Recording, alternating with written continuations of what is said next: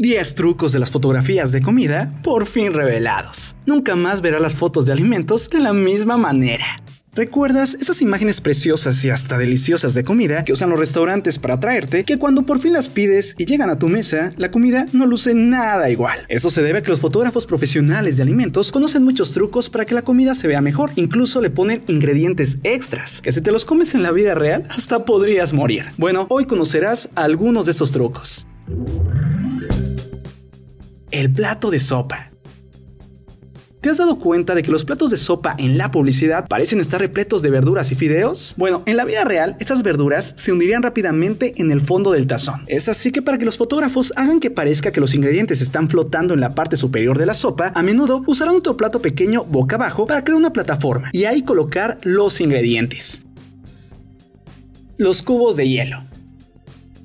En los anuncios no se ocupa hielo real, ya que se derretiría demasiado rápido bajo las calurosas luces del estudio. En cambio, ocupan cubos de plástico brillantes, perfectamente formados, y los cuales no se derriten. Esto hace mucho más fácil el trabajo. Salpicaduras de las bebidas. Todos hemos visto cómo en los anuncios las salpicaduras de bebidas se ven casi perfectas. Bueno, eso es porque están hechas de plástico. Y es que sí se pueden hacer tomas de salpicaduras reales, pero para eso se necesita una muy buena iluminación y una cámara muy rápida, como la que se ocupa para tomarle fotos a los deportistas. Es por eso que la mayoría de fotógrafos prefieren salpicaduras de plástico para las fotos. Marcas de parrilla.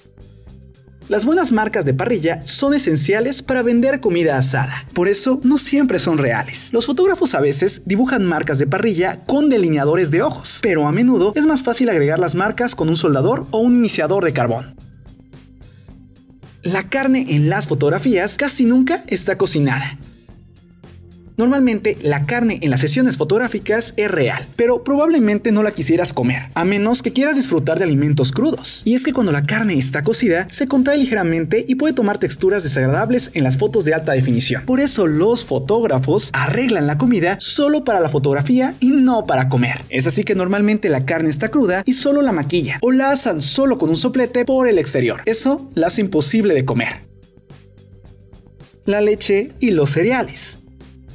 La textura juega un papel muy importante en las imágenes para que la gente se le antoje la comida. Por eso cuando un restaurante o marca de alimentos quiere vender algún producto, debe representar la textura perfectamente, como en los fabricantes de cereales, ya que ellos necesitan que la leche que rodea su producto se vea cremosa y deliciosa. Y el cereal, aunque esté dentro de la leche, se vea seco. Solo hay un problema, eso no pasa en la vida real. La leche realmente no se ve espesa y cremosa y el cereal al mojarse pierde casi toda su forma. Para evitar esto, algunos fotógrafos al plato le ponen plástico arriba, luego usan pegamento líquido blanco y al final le ponen el cereal. Y listo, ya quedó la fotografía.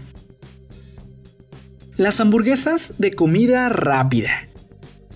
No hay absolutamente nada más engañoso que un anuncio de hamburguesa de comida rápida. Y esto te das cuenta cuando la comida en el anuncio es completamente diferente a la hamburguesa que obtendrás en el restaurante. Aún así, según expertos, las empresas de comida rápida sí muestran hamburguesas reales en su publicidad. Obviamente escogiendo el mejor pan, las más bonitas verduras y hasta el mejor queso. Pero todo lo ponen del lado que se puede ver. Y en cambio dejan vacío el lado que no se ve. En otras palabras, las hamburguesas de la publicidad de un lado están repletas de cosas cebolla, tomate, queso, carne, pero del otro lado no tienen absolutamente nada.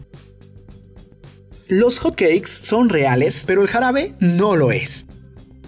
La miel de maple no es lo suficientemente oscura para parecer bien en las fotografías, por lo que los fotógrafos usan aceite de motor, el cual se ve mucho mejor. Por otro lado, el jarabe de maple sí se ocupa en las fotos de comida, pero para representar el café derramado en la mesa, ya que el jarabe se ve mucho mejor en las imágenes que el verdadero café.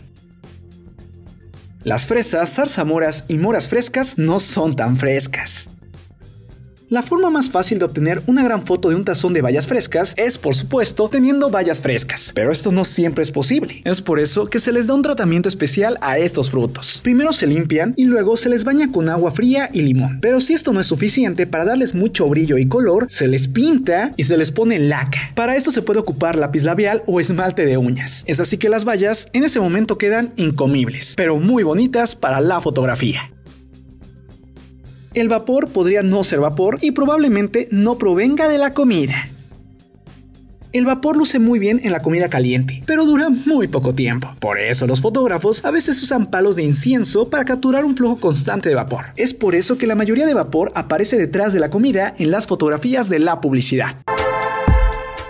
Ahora ya conoces los trucos de las fotografías de comida. Dime cuál te sorprendió más. Yo soy Marco Antonio C. Y esto, es tu Cosmópolis. Nos vemos pronto. Bye.